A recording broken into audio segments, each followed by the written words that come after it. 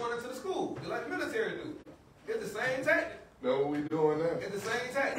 You see what I'm saying? so- and they gonna be scared. It's crazy that you say that because we do Clippers and Cops campus invasion where we actually go into the school I see to it. have open dialogue with see the kids. Yes, sir. Right here. Let me, let me, um, let me, let He's me, here. oh, I'm sorry. This is one of our students from earlier, and the whole goal is we ain't trying to recruit, but we trying to show them a different Yeah. outlook on police. We walk in, of course, a lot of them is like, I don't mess with 12, this, that, and the other. But by the time they get to see us in a different light, it's a whole different perspective because some of them have never sat down and had the conversation with law enforcement. It's just like anything, representation matters. And that's why we do this, because a lot of some people have questions, comments, concerns. They don't have an opportunity to talk to the police. They don't know the police in their neighborhood. We try to give pointers on how to get to know your police. Yeah. In our northern suburbs, they get to know the police. Why we don't do it in the south? I think it's gotta become, I'm gonna right next, I think it's gotta become a point to where you can't tell the people from the police, when those conversations get a little bit easier, and those interactions become a little more natural. You know what I'm saying? Cause y'all pointing to everybody over, there, I'm not the police. So, but I'm with them today, I'm doing this, so now it seems like, okay, they just regular cool people, you know, Crime stuff. that's like, So, so you said what, what to do is take back, right? So y'all are going to the schools, but in, in APS, in their schools, they have a class, it's a career pathway class, a law and public safety class, pathway class. Police officers gotta get involved in that class. You gotta get involved in that class. These students are learning how to be police officers. They're learning about the courts, they're learning about the criminal justice system. And they, and they need the real police. I don't know who's teaching at APS, but they need the real police to come into those classes and teach them. And- And that's where you recruit from. And we're waiting to get that call, um, But from you- APS. You may not get that call. Right. You may have to reach out to them. So Because, you- because I'm, I'm gonna tell you this, Yeah. some of the teachers are just gonna do the minimum. You know what I mean? Yeah. And so, and so that's extra. And so you may have to reach out to them. I'm telling you. You got, you gotta, you gotta hook up or somehow we can go. Cause I mean, we'll definitely do honestly, it. That is it's your- funny that that is you say that. We definitely go do anywhere. We done been to the, we done been to schools, we done been to prisons, we done been to churches. We go wherever. We're not afraid. Of, how can we be afraid of our people? As police officers, the, our job is to serve and to protect. So if we're supposed to be for the people, why aren't we interacting with the people? That's why we're doing stuff like this, and we welcome the opportunity. We we went to the when we go to the schools, we've been to the colleges. A lot of times, we can within two hours we can change a whole classroom's outlook through communication and dialogue because we're able to provide our stories, our own backgrounds on how. The first thing they ask, how, what made you want to be the police? And then you able to tell them. And then they like, I ain't never thought about it like that. I thought you got bullied and beat up and was picked on in school. No, right, but I'm saying this is a target-rich environment. no. This, these are, these are students that are in a, in that pathway class. So when you go to Creekside, just say, hey, listen, where your law and public safety class at? That's what they doing. Have y'all ever heard of it?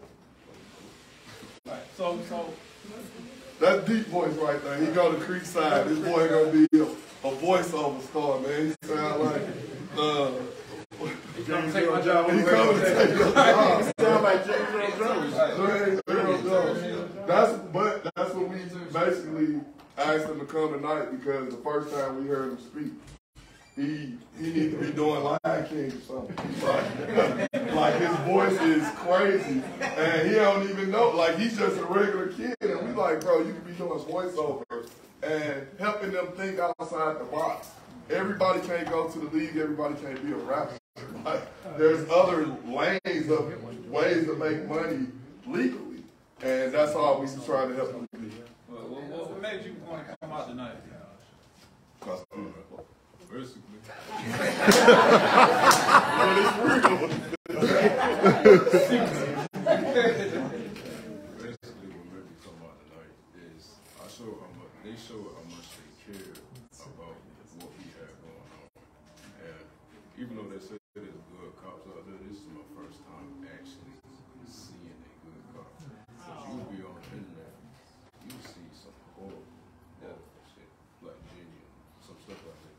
Speak up a little bit.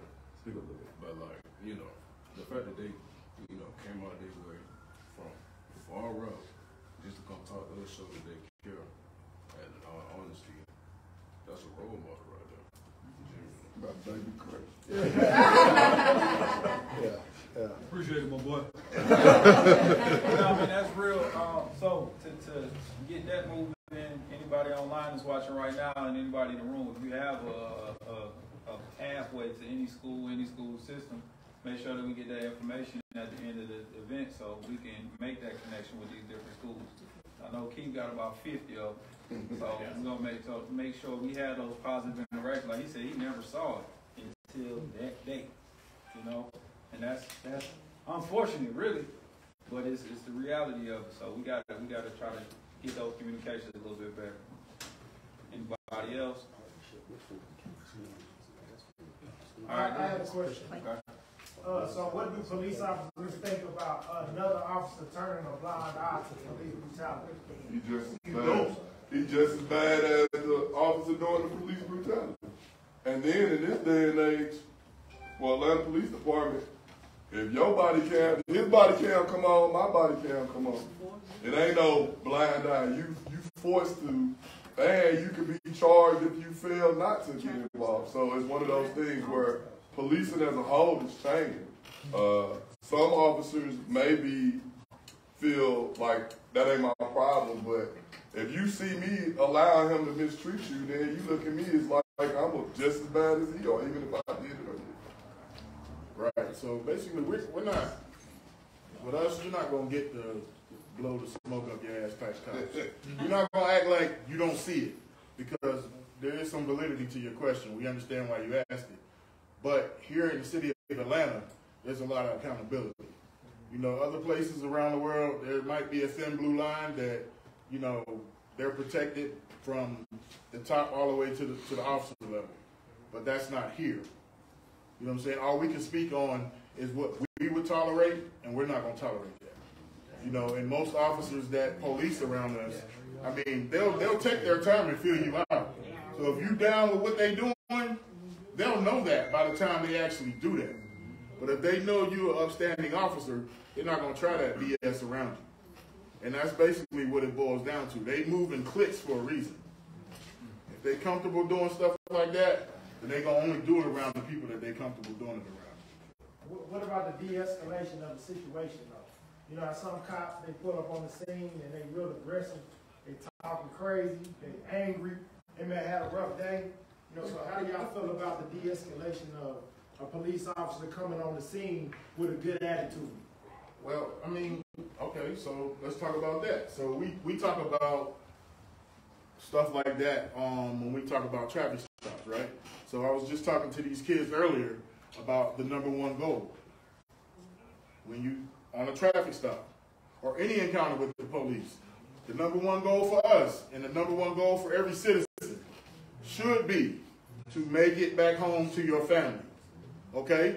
We all know we see it every day that the inability to de-escalate is causing a lot of us to be killed in these streets, right? Every argument that we have does not have to turn into a life or death situation. So when we see, just like we want it from the officer, ask it of ourselves too. We all can do better. We understand we are human. We all bring stuff from home. We're not robots. We bring stuff from home just like y'all do. We are trained. Y'all might not be as trained as us, but we understand. Everybody needs to bring it down a notch. That's the only way we're going to get better. Survive the encounter. Learn something from the encounter. If it comes to a situation where you get a ticket and or arrested, your court date is not in that moment. If that officer did you wrong, your court date is not in that moment. You probably got defense attorneys and everything else in here. They'll tell you if that officer messed up, there's going to be a time where we're going to show him up. Like we said earlier, when when watching sports, usually the only time a call get reversed is through what? Instant replay. So on the scene, you ain't gonna get that overturned. In reference to your question though, you hope that another officer is able to de-escalate another officer and try, hey bro, calm down, or I got it, or whatever. But sometimes everybody ain't as vocal. It's just like everybody ain't a tame barber. You know what I'm saying? Some people have better interpersonal skills than others. Some people can say, calm down, like, hey, bro, watch out, dog. And that can de-escalate the situation.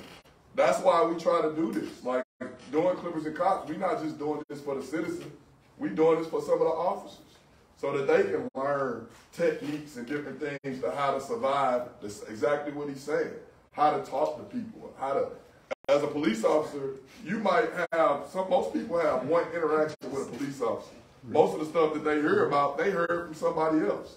So if you leave a negative taste in somebody's mouth, guess what? That's gonna forever for, affect that person and whoever they come in contact. Because now they like, oh, I can't stand the police, and then you be like, what happened? Oh man, a long time ago, this, that, and the other. And so you try to leave uh, a different flavor for people. That's why we trying to start talking to the kid. Like he said, the youth. You know what I'm saying? We trying to talk to them early where to let them know you don't have to be afraid on a, a traffic stop. When we ask the kids, when you get pulled over, what you supposed to do? What you think they say first? Run. Run. What you running for? You escalate. That is escalating a chance of you getting hurt, me breaking my ankle, or I'm getting hurt. And so the whole thing is, if it's for a bag of weed, is that worth your life? No.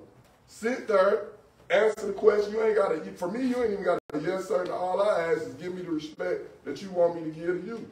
But a lot of But you know what? people, the only example they got is social media. So That if is they watch correct. a video of the cops killing kids because they tail light out all night, it'd be a situation where they be like, stop resisting, stop resisting. You got your knee on my neck, I'm trying to breathe. Right. You know what I'm saying? So sometimes situations that you see all day on social media as a child, you gonna run too. It's trauma. Yeah, that's so That's sad. trauma. We see this all day, every day. But I We think not- that's what we all gotta have our social responsibility, because I'm sure every, each and every one of these people in the room has a social network, right?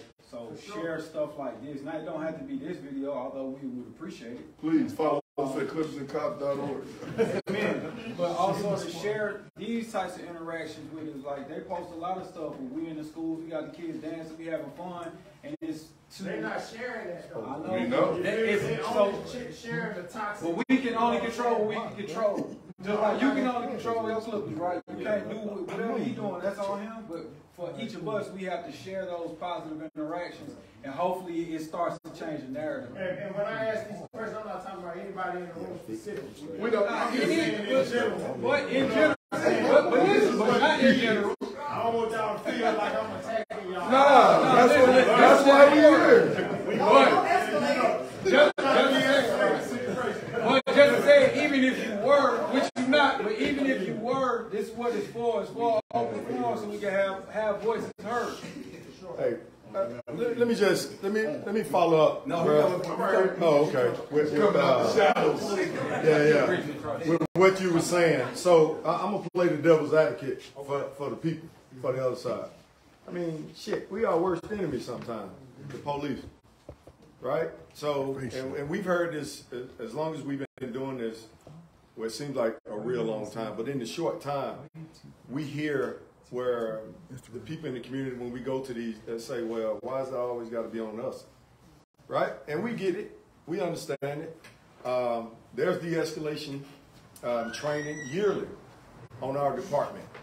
Um, let me just take that part first. It's no different. We, we send guys through training uh, when they first come on, five months maybe, five and a half months. To me, no different than when you raise your kid, right? You you raise them a certain way, but when they go out in the world and start doing something different, you're like, shit. You know, they, people try to figure out well, that kid came from a good home, he got good parents and this and that. Well, our department is like that, but once they get out there, it's not the training necessarily, uh, you know, the training that's bad. Hell, they decide to do on, you know, do whatever on their own. All right. So that's the first thing. So the other thing that there, there is a, a policy now. All right, uh, a duty to intervene. All right, for us. So now, even if a cop is doing something illegal, all right, let's just say you know any type of use of force uh, or excessive use of force, then if that officer or officers are standing around there and they're not getting involved or doing anything, they're going to face the same consequences, if not worse. All right, you're going to get fired. All right, that that's in the books now. Um, and I think that came as a result of all of the, the, the protesting back in 20. All right, it's, it, it's part of our policy now. All right, so guys understand that. But again, all right, when Ty was talking about, you know, some guys may feel hesitant in, in, in, in getting involved, but shit, you better think about the big picture, and that's what we try to tell cops. You know, especially the young guys. Uh, you, you better do something. All right, to the contrary, and get involved and stop what's going on, uh, and not worry about well, I'm gonna be disliked or treated differently now that I stop you from whipping somebody's ass uh, excessively. All right, when you had no business doing it in the first place. Um, so again, with, with, a lot of stuff you see on TV, every all these different protests that have been going on, cops going to jail now, all right, getting convicted now. We still have stuff happening, right? So why is that? You would think, like, damn, don't you see what's been going on, what's been happening? So that's why I say we're our worst enemies. It's like we take one step forward and about five or ten back. All right. So for us on the on the Atlanta Police Department, we have um, things in place. But once they go out, man, you just hope that they follow through with what they've been taught. It doesn't always happen like that, and it's not just Atlanta. That's probably every police department. All right, that's that's around. So. Thank you. That brings us to our next topic. question on that. Just a quick question. Um, like when you brought that up as far as like, when you all have like routines and stops, um, I know in the industry they have like metrics and stuff like that for, for like rating or you think about customer service, they'll tell you like, you know, if you're calling, it's gonna be recorded for some type of review. Do you all do any of that type of stuff, like audit? review, like an audit of reports or like holding any type of metrics for like your officers too? So like, I know you have the initial training, but as far as continued training, like you have to obtain like this this certain type of score. You know, at least to like this assess the officer. I know situations are all different. You can't control situations, but you can at least control, you know, like the the assessment or the ability for like the officers. So, so for us, what we do uh, in Atlanta is I won't necessarily. There's no number uh, metrics or anything like that, but we do conduct uh, body cam audits of the officers' body cams. Random. Um, and this is weekly. Uh, you just randomly select, you know, not, if he doesn't work for me, I'm not doing him. I'm doing people up under my command, right? And I'm just picking these these guys every, you know, this week, the next week I'm gonna pick different guys. I'm gonna look at their body cams to see how are they handling their calls. All right, are there some issues? Uh, and that's real good, especially if you start getting complaints on officers and uh, you know the body cam to me i mean it, has been a game changer um, um, for all the law enforcement because uh, on one side it's going to help the officer and on the other side it's going it's going to put your ass in the sling. Let me jump in right quick. We also talked about this earlier where if you feel that an officer violated you don't just sit on it. Man i should go complain on him because then it's just like letting the pedophile victimize again. If it's somebody's a problem, they're a problem. And then usually what happens is as they do multiple things or something else, then they finally do something big and then everybody come out the woodwork when it could have possibly been prevented. So quick question. So if you have a negative situation with an officer, like what steps do you take? Who do you call? Who do you ask for? Michael, Michael Carter. no, no, no, no, no. That was like, man.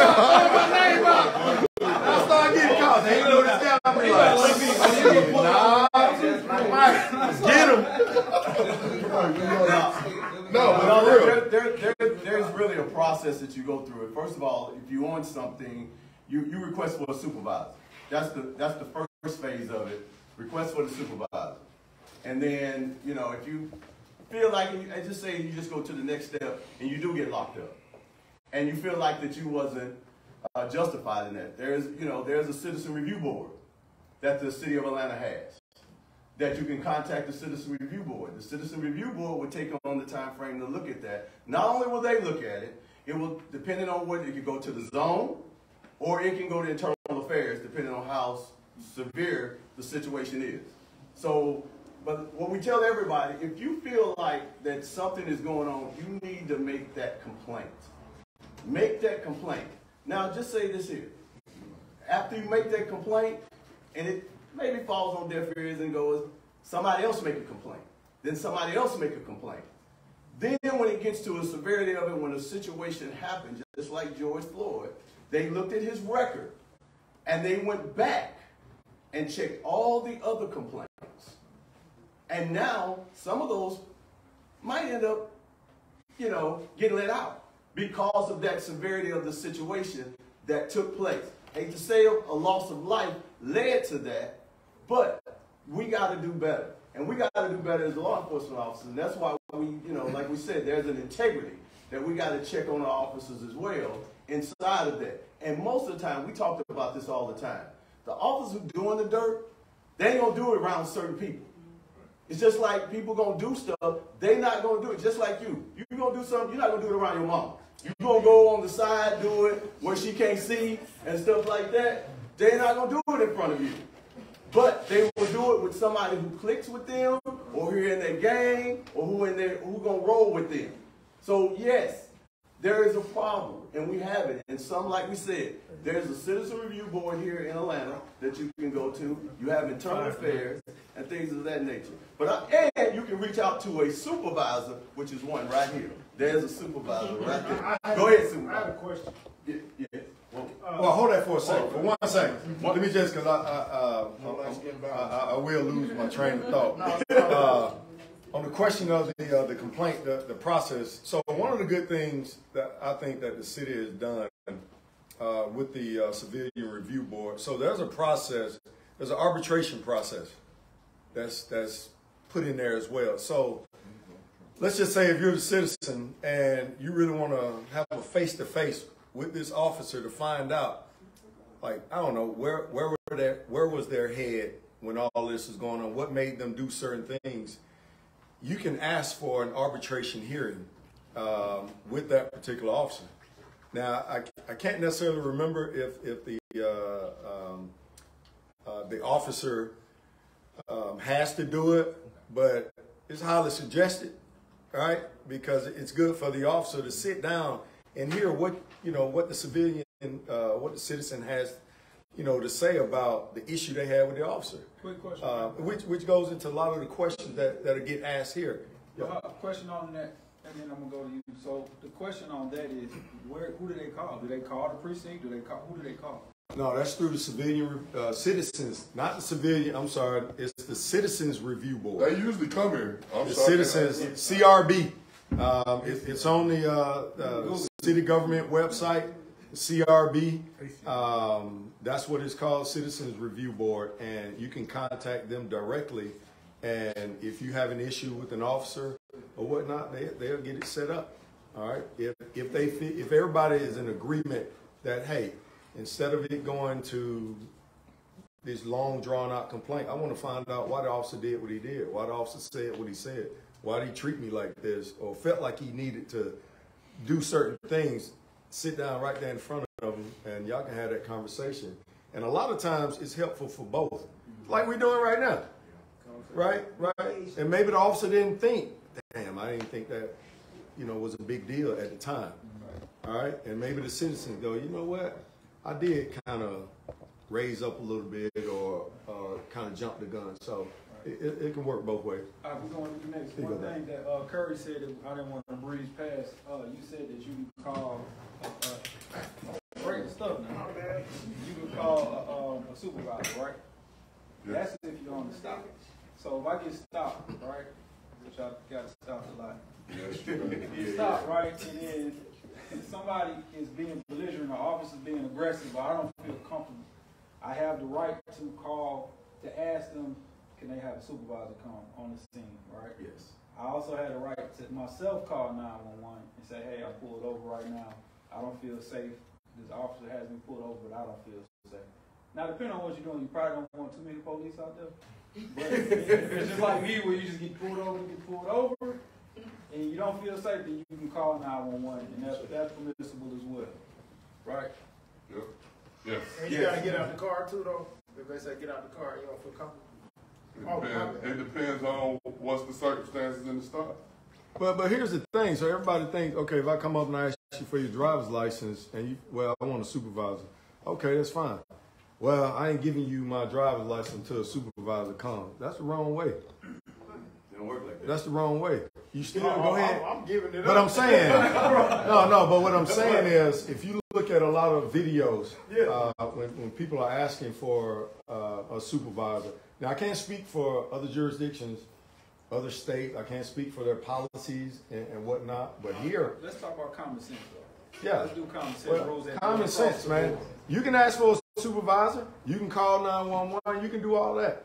Let me see your driver's license and, and your, your insurance registration. Okay, here. All right, because That's the privilege of But you then, but then after you give that, can you say, I, don't- I don't wanna get out the car until you bring a supervisor?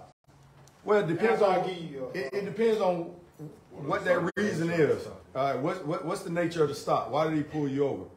All right, it, it, it there are a lot of factors um, Was that a go into regular, that. regular, uh, stop, like, you ran up, you made a, went through a yellow light, too, too slow, uh, and the light was red. Now I get Well, Well, they- I'm saying, you know, what I- I'm saying, in general, if it's something that, me to get out the car. that vague, basic, Yeah. then Yeah. that, Johns Creek, they said you was driving through the light too slow.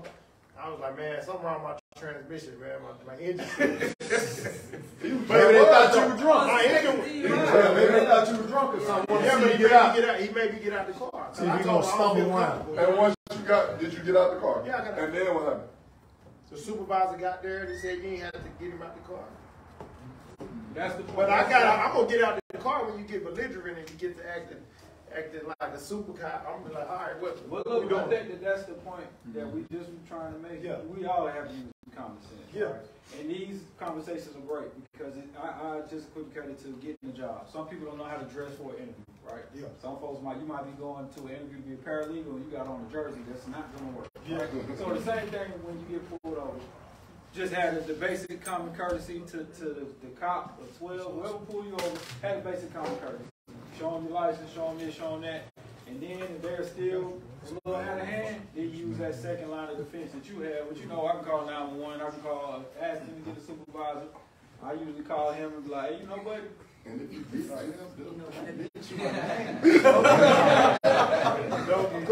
Right, but it, it's, I think it's just all about You can also record. Okay. You can also record the stop. But once again, it go back to common courtesy. How would you feel if somebody, I'm recording you? Yeah. I'm recording you. doing that. Right. No. Cut your phone while when the lights hit you. Cut the phone on and lay the phone on the dashboard. And lay it down and let it do what it does. It's the same thing. Most of us got body cameras now. And the body camera tell ho- all the story. Like you said, some of the clips you see on social media, when they give you the snippet, it do look bad. And you like, oh, dang, he dirty. Oh, the girl in the park. We talked about it the last one. Right. And then when you see the full video, then it's like, oh, well, they ain't show us that. But have you seen the video that kind of made you feel like, dang, it was wrong? George Floyd. The moment I saw George Floyd, I knew it was wrong. Some, people don't think it's wrong. At the end of the day, as a, I, I was a police officer for 16 and a half years. Most of us know how to do this job. It's not rocket science. Treat people how you want to be treated, right? Now, has it been times you had to put your hands on people? Of course. But at what level do you let up and say, all right, it's over? It ain't no, once I got you, oh, yeah, we were fighting early, and I, sh-" nah, that's being extra. And now in this day and age, you don't never know who recorded. You don't never know where they're around. Yeah. And that can come back. People are, cops are now going to jail for doing little stuff like that. The world has changed. The days of just doing whatever you want, the days is over. You know what I'm saying? I don't know about y'all, but I ain't trying to go to jail for nobody. We're gonna move on to the next, the next one, because basically we already brought it up. You can snitch on the police, right? So now we're gonna talk about. We're gonna talk about snitching. So, um, this questions that came up online, and it's a little, it's a little broad. It's about telling on people, right? And what is snitching is, and my definition of snitching is, I'm trying to get out of something that I should be in. Like if I committed a crime and I'm about to go to jail, and I'm gonna tell on somebody else to alleviate my sentence. To me, that's the only snitching. If I'm paying taxes and not doing no crime, somebody breaking my house, I'm telling you. Like, I feel like that's my right, right? I'm not doing anything wrong. Anybody feel differently, want to speak up, want to talk about that? Don't nobody want to steal. Don't nobody wanna talk about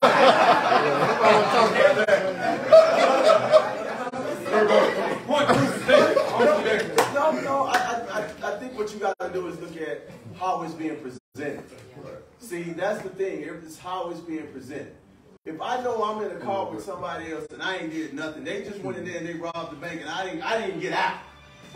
You know, at some point, you're gonna have to, you got to say, am I gonna survive this? First off. Then once the situation, the police get behind, and I, sit- I had a situation where it was two guys, it was three guys in the car. The guy in the back seat did not run. He stayed in that car, he ain't go nowhere.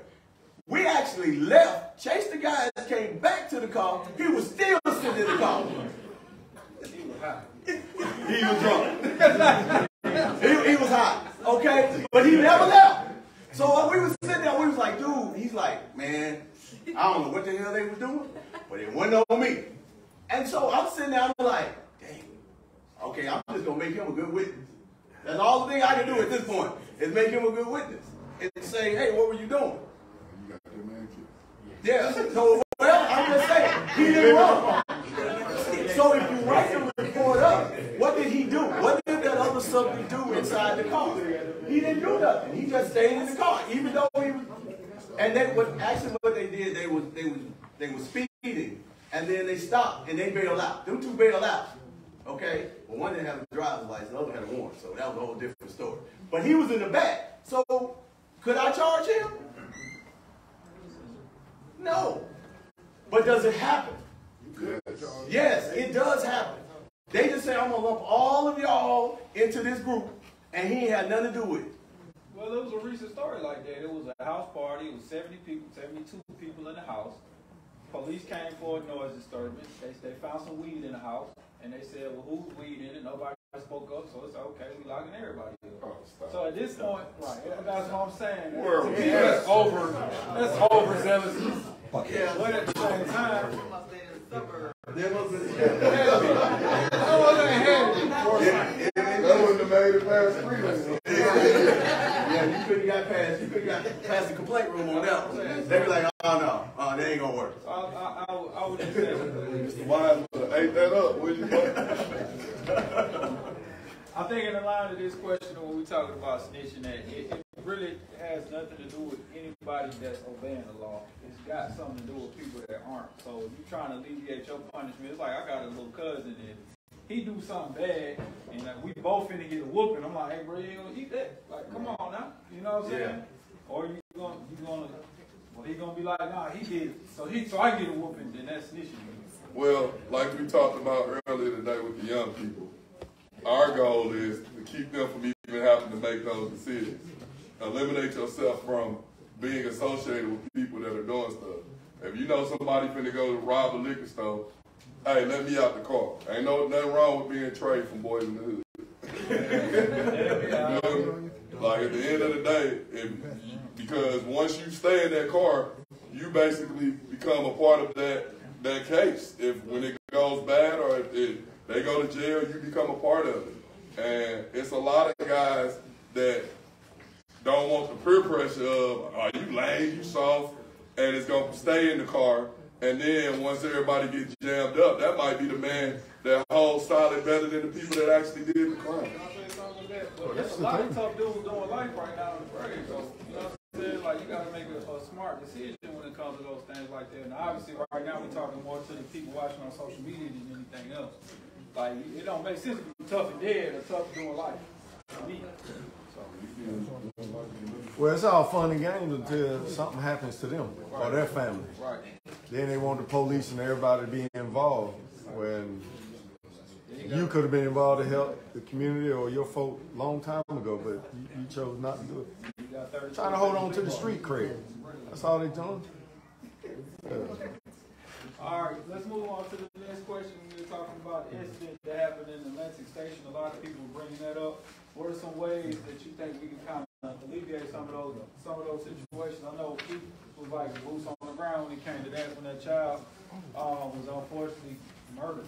Um, but I know he was, he was like down there very vocal about what was going on. These some of the kids he's been helping through his program. So maybe if anybody has resources they can share for these kids, I think a lot of times they just don't have anything to do. They just outside. Yeah. Yes. Mrs. Ward. Greetings. Greetings, inside. Greetings. Greetings. I hope everyone is having a good night so far. So I'm Captain April Moore. I work for the Fulton County Sheriff's Office, and I serve as the captain for our community engagement unit. So things like this, dealing with kids on a weekly basis, I probably get about, I'm gonna say 15 to 20 calls from parents, from children as young as seven or eight up to high school, where they're like, I need you to come get my child, because they are having problems at school. Just two days ago, I got a, a call from a teacher where to the point where the mother is having to come up to school so much that she's about to lose her job because her child is having problems. And so you look at some of the programs that you have at juvenile court, but of course those are normally geared towards like if you're truant, runaway, things of that nature. So there are a lot of programs, Atlanta um, Police Foundation, Atlanta Police Department, they have a cops unit. We also have programming, but looking at a lot of our young kids that are in jail and the programming that we have for inmates, because sometimes it's not going to school, having learning disabilities, and because you have a learning disability and it hasn't been diagnosed, now you're acting out in class and those things aren't being addressed. Part of that goes to parenting as well, um, because I have a lot of friends that are educators, and sometimes parents are egging their children on into some of these things that they're doing. Um, I think mentorship is a lot to do with it, especially a lot of our young black boys not having strong male positive leadership. Real mentorship. real mentorship because and, and it's funny that you mentioned that um, because being a mentor is more than just telling a child like you you need to call me if you need something right? Because they're not going to do that. They don't know what that looks like sometimes. And a lot of times people get into a situation where some adults really are not well meaning and then they exploit them. Just last night we had a panel about human sex trafficking and they're sex trafficking boys too.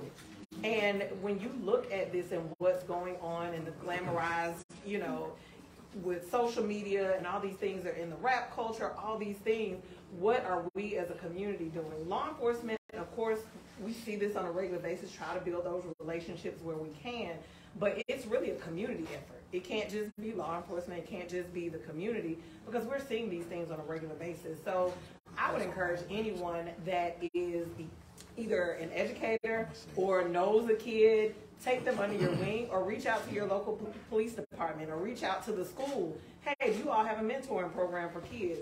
It's something as simple as learning how to tie a tie. It's a lot of boys that don't even know how to do that, never had a suit before.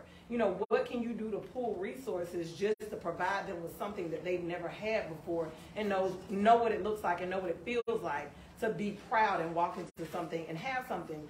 My youngest son, he had a program, it was like a like a rites of passage program, and he was excited about it. A lot of kids don't have anything to say, hey, I got a certificate, I'm a part of something bigger than this. And the reason why they get into these cultures is because someone's paying attention to them, right? You have parents that are going to work all the time, and you become a latchkey kid. Back in the day, kids would go outside, you know, play up under the lights. They were still getting the stuff, but you had things to do. Now you have this culture that will take them and be like, hey, I'll talk to you. I'll take you in my wing. I can help you make some money. I can help you do these things, but it's not anything to the good. So it's really a community effort and, and not just community on its own. You really have to bridge the gap with law enforcement because we're seeing this on a day-to-day basis. And especially for those of us that are black and working in law enforcement, um, I always say, you know, it's almost like being a translator, right? Because I mean, I grew up in Decatur. I went to the Southwest DeKalb High School, right? The. That the. The. right?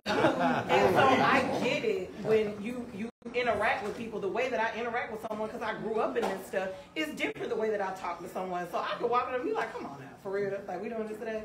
Like, nah, I, I, gotta, I get off at five o'clock. I'm not trying to do this with you today. Like, right, and a lot of times it's like breaking that ice instead of coming up like, oh, I'm the police, you need to tell me whatever. People, they want to be talked to in their language. So sometimes you have to be a translator in that space and really trying to be culturally sensitive about that and recognizing that every black man that's talking about ain't mad, right? And really learning about those things. So especially for our youth, I think it's programming and we talk about these things, but where's the execution, right? Like, what do you do when you leave here and go home? Like, are, are you talking to your kids? Are you on social media yourself all the time?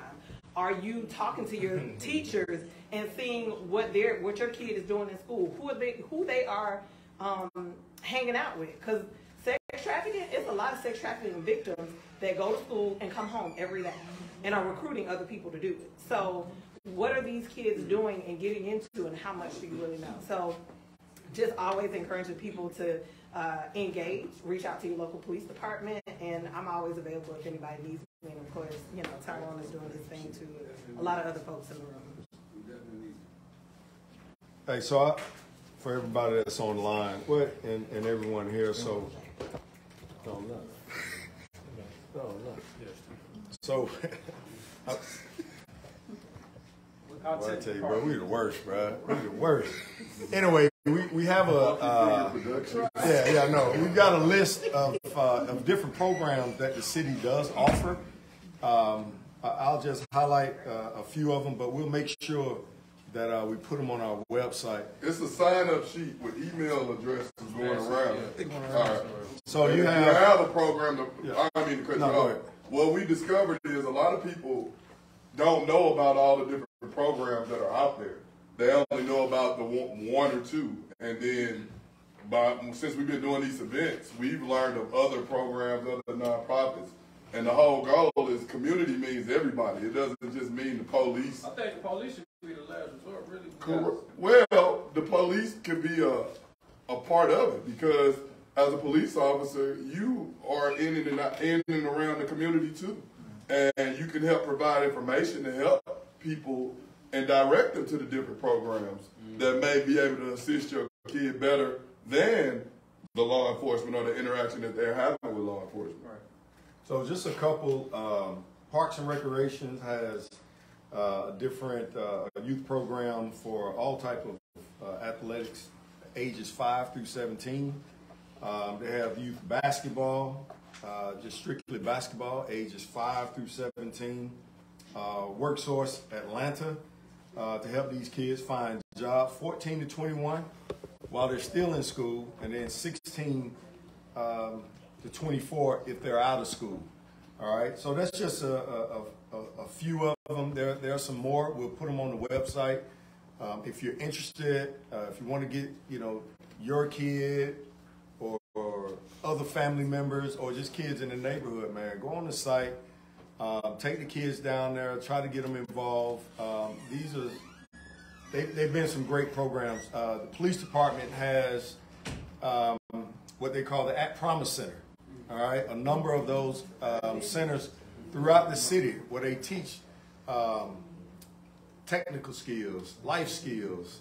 Um, just put them in therapy. Just put them. They're putting these kids in a positive environment, getting them off the street, where they they think they're getting this positive uh, input, you know, from from the folks in their own neighborhood, putting them in a different environment, and kind of trying to pour into these kids to help them make a, a, a change. So we're gonna put them on a website. If you're interested, go look, and uh, if something fits, go for it. Most kids, if they see, when they see different, they see better, they do better. And the whole thing is, we can't just, the problem that happens is a lot of people say it's not my problem, or they just push the blame on, well, the teacher should do better, or the, or the, the police should do better. Nah, try to, everybody, if everybody do their part, then it's teamwork make it all work. You know what I'm saying? And it takes little parts. Like if you got little cousins, little people, little guys on your street, don't just push them to the side. Sit down and have a conversation with them. The one thing I learned, ask somebody, You remember in kindergarten, they asked, what you want to be when you grow up? And then a lot of young people be like, I don't know. Or they say the same thing. I want to be a YouTuber. I want to be a rapper. I want to go to the NBA. All right, that's cool, but what if that don't work? What else you planning on? What's your one year goal? What's your five year goal? What's your 10 year goal? And once you start helping guide them and mold them, then they'll listen to what else you have because now you you winding them up to think like, dang, maybe I could do this. Or maybe I could do that. I didn't wake up and say I wanted to be a cop. I didn't strive to be a cop. You know what I'm saying? It just happened. Somebody sat me down and talked to me and they said, what do you want to do for the next 30 or 40 years? And I was like, man, I might be police. Look at me now. So what we're gonna do is give it to them and talk about your program that you have as well, because we wanna we wanna start letting people know of the different programs that we have in the community that they can have besides the PD. Okay, ahead. Well, my program is called The Father and Me. We focus on kids from 5 to 25, boys and girls. We teach them everything from how to drive to how to cook. We 24 hours. That's why it's like, these things are great. What we gonna do when we leave? What we gonna do when we leave? Because how many men here right now mentoring kids? We gotta be real. How many? That's great. That's great. Every man should be raising their hand here. Every woman need to raise their hand. See, we can talk all day. My program, we very, very hands-on with these kids. That's why when you said South Atlanta, we trying to get in there. Next week we going to South DeKalb. Me and my brother keep going to South DeKalb. We definitely want y'all to go out there with us. I don't live here. I fly in to do this. You say St. Louis, right? Yeah. I took my program to St. Louis. Let's go. And but I tell you, the number one thing is these young men never seen a man before. So our whole thing is we gotta let them understand what a man is. And a woman, because I put them in a structure. I got a strict contract that you gotta sign the parents and the kids. When I get them in my program, they cool. They go back home, it's a whole nother dynamic. So like I say, what are we doing? I'm doing my part. I'm doing everything I can. You feel what I'm saying? They make me get a nonprofit. I was there doing it because it's my passion. So we teaching them tech, we teaching them uh, finances, we even working on the grant program. So anybody know how to write grants, holler at us. We even created a youth task force with my brother Keith right there. Keith, you want to talk about my father first? Come on, come on over here. So we very, very, very hands-on. I just met the young man over here, 18 years old. He about to be in the program. You feel what I'm saying? Our whole thing is they don't need to be in jail. They need to be in these real programs with real men and understand what real women is. Cause a lot of these young men are named after their dad and never seen their dad. Mm. And so it's a whole nother dynamic. So a lot of times when they lashing out, it's not them. It's real trouble that they going through. They're like 12 year old boys I am. You feel what I'm saying? His mama kept on saying she was crying, crying, crying for help. Man, Keith like, you was crying for help, but you wait until he's 12 years old. He started stealing and doing everything at 10. Right. And then she said when she reached out to the police, she nobody put in the right direction. So then you got these other young boys that's with him, straight trauma.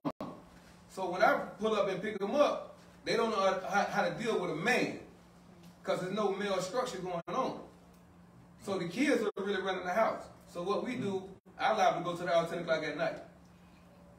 Because we got to be hands-on with these kids. A lot of times we just talk, talk, talk, talk. So with the father and me, we very, very active, very hands-on with. And I'm glad my brother Keith, we partnered up and we active in the streets every day dealing with these kids. Because we can talk all day. But how many of us know how to go out there and really connect with the kids? That's what I'm saying about connecting with the kids to get them to be the police. We let them know the police is cool. Because when I get them, I let them listen to their music and then I ask them why they listen to the music. So a lot of times we don't listen to the kids when they talk. We too busy being a parent and being an adult, we're not listening to the kids. So that's why when we, we got to ride by seven different gas stations, seven stores when the young boys outside. Instead of going to the store and interacting with the young boys.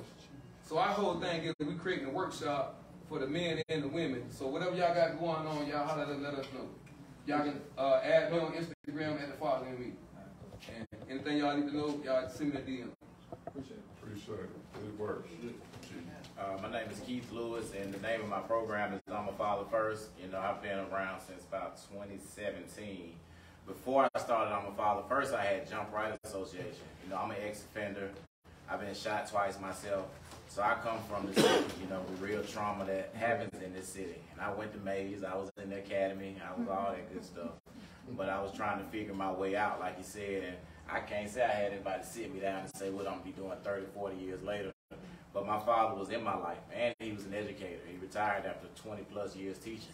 So it doesn't matter what the demographics or the shape of the household looks like. You know, kids are gonna find their way into whatever their brain tell them is what is, is appealing. So I guess um, in a nutshell, we've done a lot of stuff. We've been in the schools, so we definitely connect with the schools. Um, back in 2020, we were funded a lot of money and we fed. We did Meals of Love. We fed about 250,000 meals, and it was all through APS students. My goal at the time was to feed the kids that we service. But once the pandemic came back, it still became hard to engage in the schools. So I would definitely say we got to give a little grace because people in those corporate government spaces, they had to go through different protocols than people who just like, I want to help, I want to help, you know, because I didn't even wear a mask during the pandemic. And glory be to God, I didn't catch any type of, you know, COVID or whatever. But each space, it, it requires something different. So from programming, we've done meals. In the school, we've done um, King Talk. King Talk was very effective. That was at Best Academy on the west side. So we would take like 15 boys and we would talk to them for like an hour. Like this conversation has been very effective. You know, it's my first time coming to town, so thank you for always letting me know when you come in town because his commitment is, is incredible. So just back to programming, we've done Meals of Love, we've done that. and we did Rebrand the Man last year. We had like a hundred, you know, Reese, everybody was there. We had like 150 black men at the Capitol. It was cool, but what happens after that? You know what I mean? Like everybody's in their own little silos trying to be super mentor. So for me, I took a lot of time to myself, guys. I had to bag back and say, okay, you know, um, what is most important here? And it's the children. You know, when we speak about Zion and um, Cameron, they lost their lives at 12 and 15. And Cameron's mother, um, I don't know if y'all can put it on the thing, she has a program called forevercameron.org. We've been on calls every Wednesday with her. Um, I knew Cameron before he was even born. I tapped in to help, like like Seymour said, we was just helping. But then when I Googled the 15 year old boy that died and saw it was somebody that I knew before he was even born, it's a different thing, guys, when you're mentoring just this stranger that you just meet and you just touch and go. It's a whole different thing when it's someone that you've seen from being in a, you know, as a baby growing up. So mental health is something that's been very, important to me and working with the young kids. They're involved in a lot of drugs and gangs. So I think we just got to take that more serious because really, like Cameron, his mother didn't even know how serious he was involved in them gangs.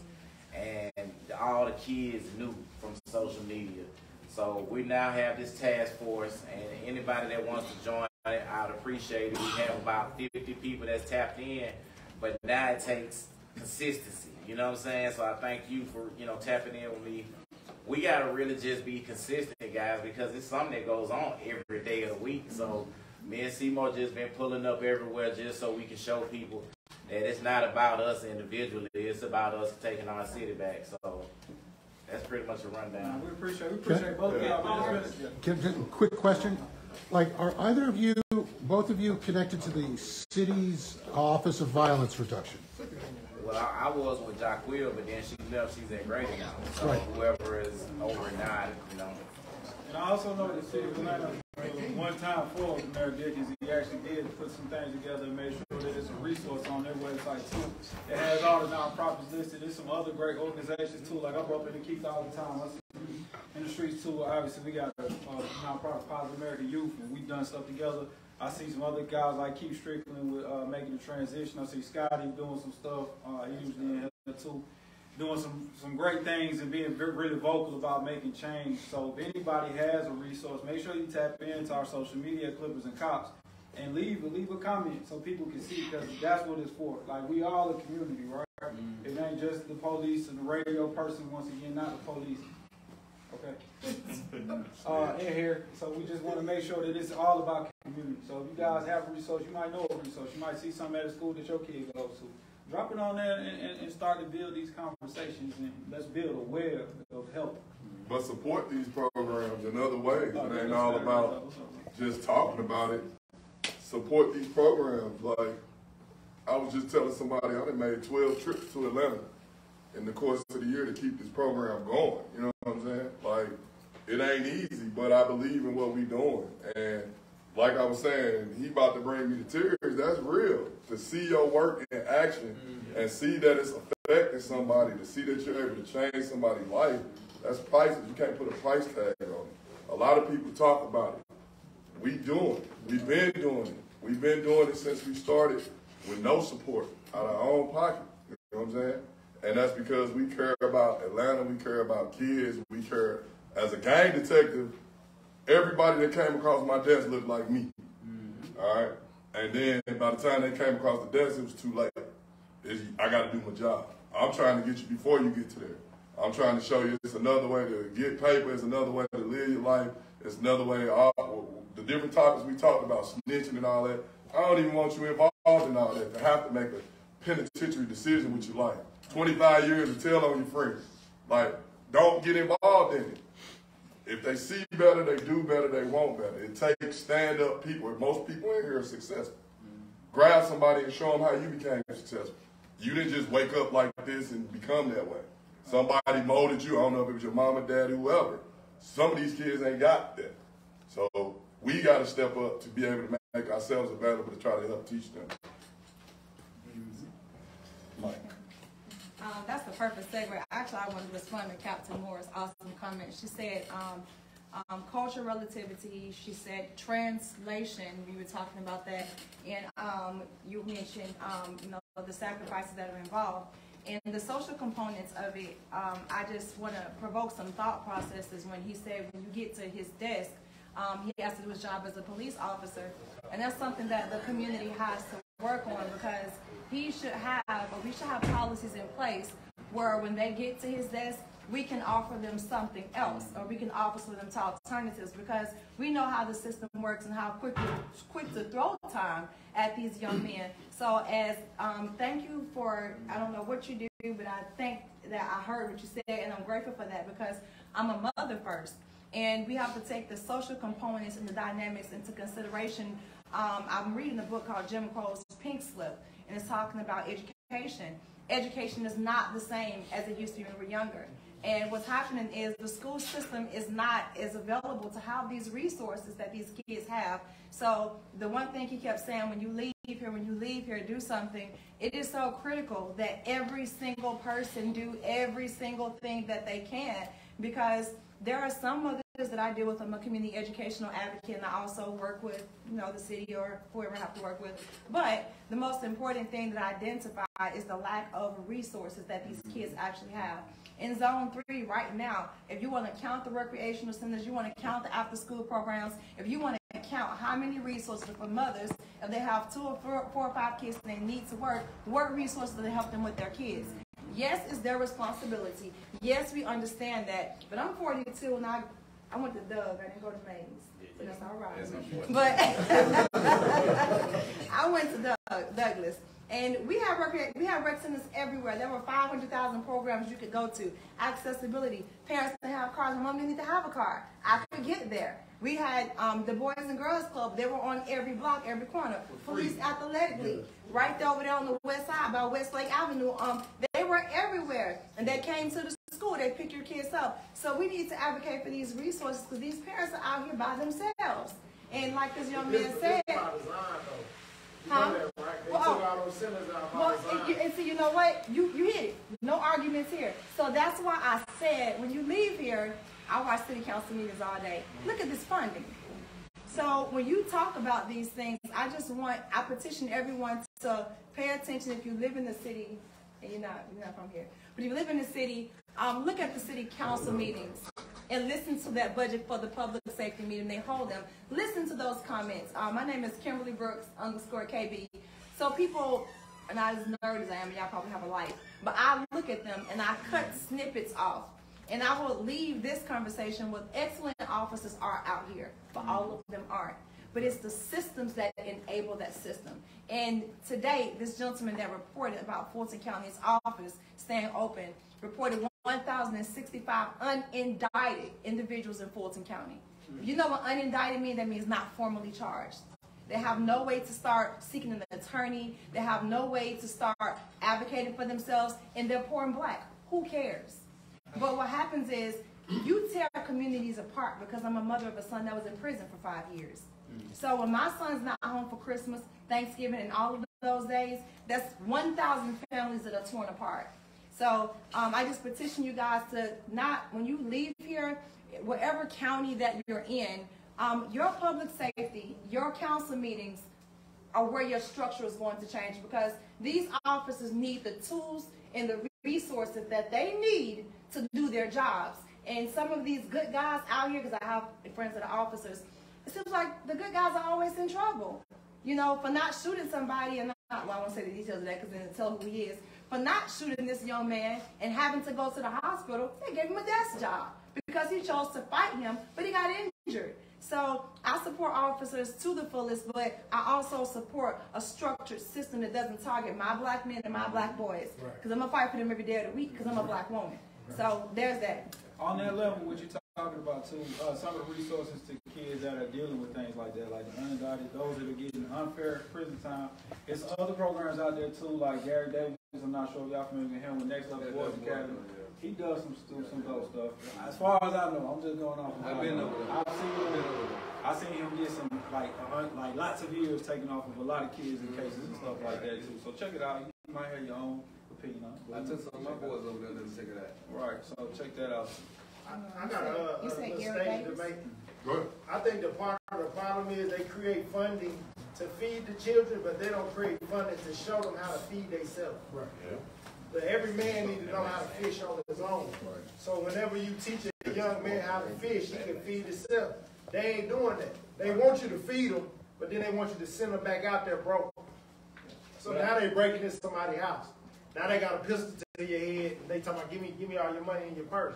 So I just feel like the, the, the way they create the system is uh, they want you to go to jail. They want you to get, you know, incarcerated so they can make that money.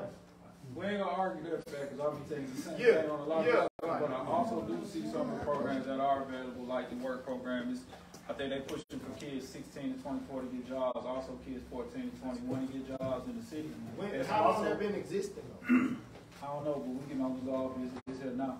And also with like business for places like this, right? There are, there are programs where you can hire kids and the city will pay for it. I don't know. You got name of it. flyers or anything for that? So I, I got give it to Google. the That's the same thing I Google, bro. I'm just telling you. Like, I'm not, I'm just Yeah, but being that's what. I'm saying to you. being The real. same way you is about that, that's the same way they not gonna take it serious. You just I got Google, Right. like, they gonna be like, oh, okay. No, They but- not gonna respect that. No, no, what I'm saying as a business owner.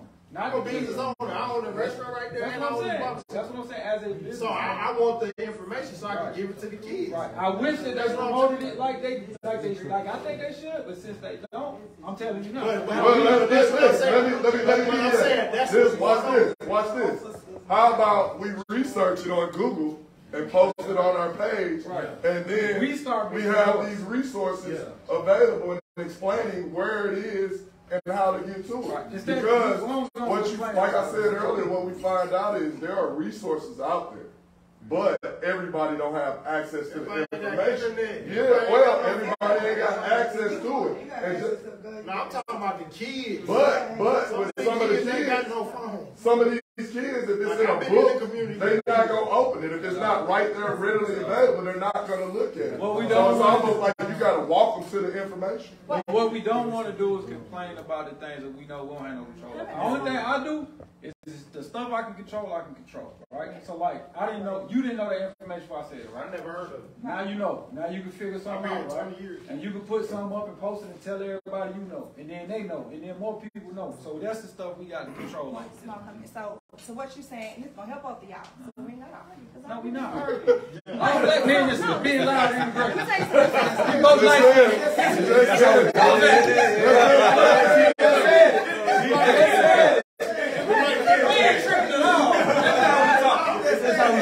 Wait, wait, wait, because I don't want it. I don't, I don't want that to be even part of the situation. I'm sorry. Give me one second. I'm sorry. Check this out. We both like skinned, so we sensitive. what I'm, no, no, no, I'm joking. What I'm saying, what I'm saying is, just because, and this is for everybody watching on camera out there, right? We talk. That is a conversation. He know what I meant. I know what he meant. We agreed to Well, it. We I, will I really know that. You Right. don't have to tell me. 'cause No, know but I don't want nobody up. Oh, my bad. I know they good. They just, Right. they just my men. Like, that's how. But no, so to what you were saying and what you were saying, so um, when Kanye West came to um, Atlanta, um, so for a friend of mine in California contacted me and said, hey, he wanted to fill the dome up with black boys because I deal with a lot of the boys like literally on the street. Like I'm always stopping the water boys doing stopping from doing nonsense. He told me that um, his his um his PR told me that I could have as many tickets as I needed to get every black boy that I could find a ticket to be in the dome for his Donda um, for the um, for him coming here. Let me tell you something. I sold out for 500 tickets, and I started my journey, letting my friends know, hey, we're gonna get all of these boys tickets. I came to realize that all of them are flexing. They do not have internet. They do not have Wi-Fi. They don't have a telephone service. So I wanted to give them a free service, but you know you got to get the ticket on your phone. I had to assign them the tickets digitally. So I ended up meeting random people. These kids don't have the stuff that we think they have. And it was an eye opener for me because here I am thinking I'm gonna give, you know, have the dome full of these young boys and everything so they can represent our city, but they ain't even got internet. They don't have the, and it was it was shameful for because I I'm on social media, so you got all of this money and everything else and all of this stuff. These kids are suffering in silence, but their social media requires that you be perfect. So they're not even fighting with like only drugs and I mean and gangbangers. They're fighting with looking at their friends, not having to, you know, even look like they have money. So I just wanted to share that because you was talking about resources. They couldn't they couldn't even get I, they didn't have Wi-Fi and cell phones. And I ain't gonna say it was the whole city of Atlanta, but just about out of out of about 350 of them, I only had 168 tickets that I gave. And at one point, I was like calling my friends up and letting the girl know I'm just gonna give these tickets to somebody so another can represent in the dome. But out of 500 and some tickets, I only gave. Well, she would have gave me something that I wanted. I was able to give her 168. But that, that, that goes in point too, another resource too, that if you run into this situation again, I know that was last minute and it may not help anybody, but it may help a lot of people right now. There's another act going on with AT&T, T-Mobile, and a couple other wireless service where they give out free phones as well as internet hotspots to any kid that, that uh, uh, qualifies for free reduced lunch. Any kid. You know what I'm saying? So they can get free reduced lunch, you can go get the Wi-Fi and the phone. So at least you have a safety phone. I don't know how many anytime minutes on it, but you get free phone, you get free Wi-Fi. How's that on you? Yes, sir. Have y'all ever thought about like, like this, like we were saying, like meeting where the kids are with technology, like maybe hiring a mm-hmm. position or working with the schools to create an app? Yeah, so, Like, so employ to that- answer your question, yes, we do the Clippers and Cops campus invasions. We are looking for other sponsors to come along with us when we do it, to be able to provide those resources when we do it. It's still growing, but we're not gonna stop doing the movement to wait on a sponsor. So, you know, I know, I know what you're saying. But you're saying showing them the Showing information and the technology that's out One there. repository of it. Right. If they ask, I got a QR code, you can come here. We got a QR This code. is, this is where it is, meeting people where they're at. Right, exactly. Tell me or ask me, most people path of least, least resistance. Yes. You're not gonna do anything. So to answer the question, yes, and to get it better, yes, we still going, we might have a question over Oh, it wasn't really a question, it was more so a comment. I appreciate y'all. Um, one thing I wanna do is lock in, I don't really like playing politics and I'm the youngest warehousing person in the United States. I dropped out of school in Riverdale. So Southside fell. You get what I'm saying? I, I'm here because this my brother, keep my brother. Like I got brothers in here, but, but like I hire people. You know what I mean? Like I have a warehouse in Fulton County, I have a warehouse in DeKalb County.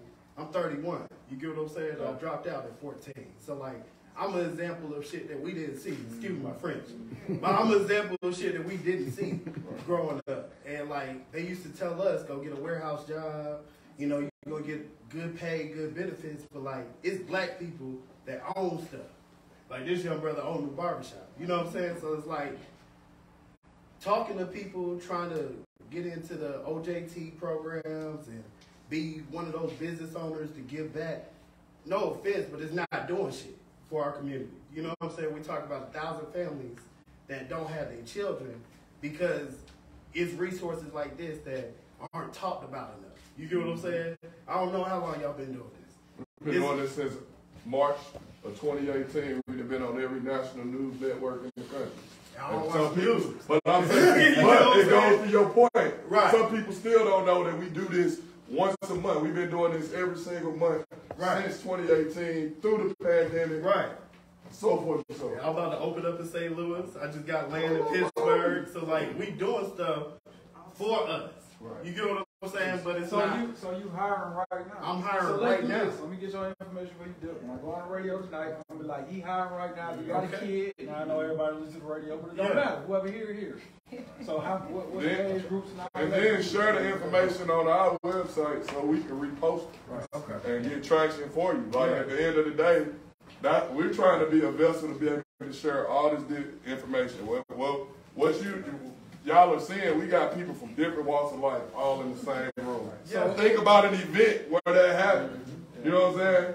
And this is how it, this is the community. The community is made up of people from all different walks of life coming together to do what's the betterment of the community. And if anybody has a resource like this man right here has a resource, DM me tonight.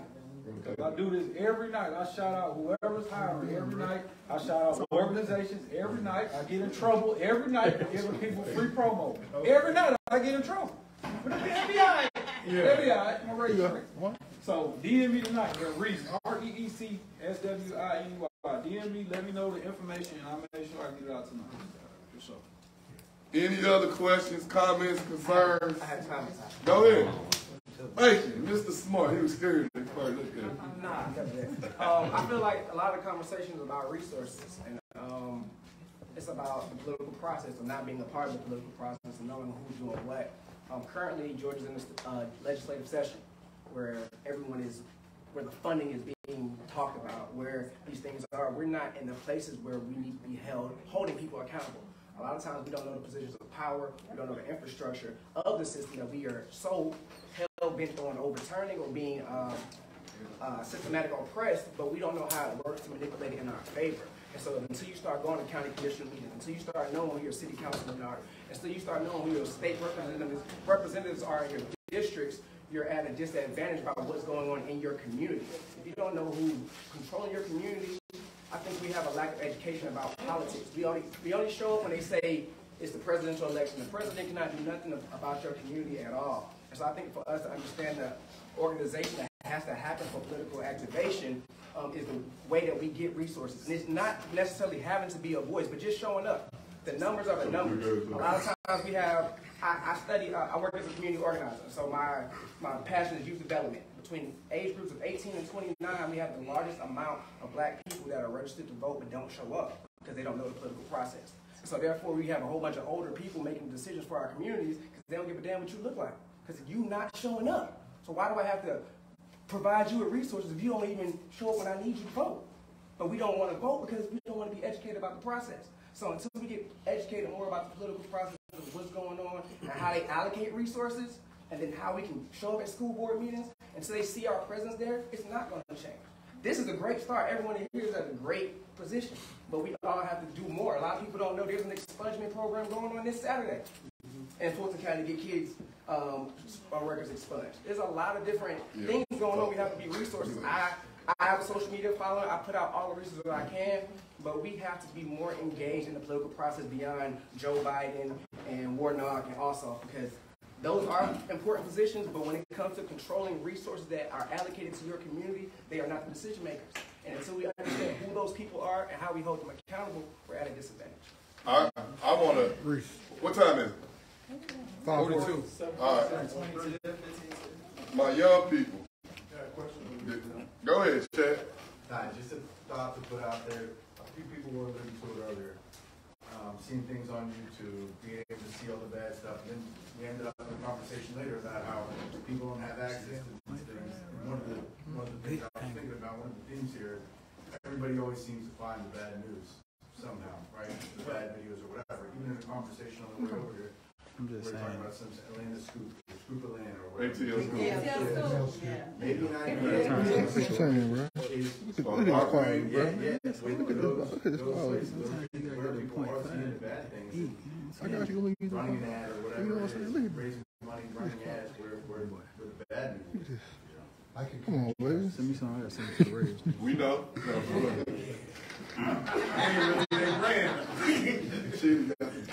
All right, look, this we have to do, um, I want, my man, you got anything you want to say before we go, or you good? You got it? Boy. Hey, y'all gonna hear him again, man, I'm telling y'all, I knew that little boy. I'm gonna get him a voice work. We're gonna make a kill it. all right, uh, I'm teaching a class this weekend, bro, I'll get you in. Um, we about to take a group shot, group picture, whatnot, so we gonna, which way you wanna do it? Tech guy, which way you wanna do it?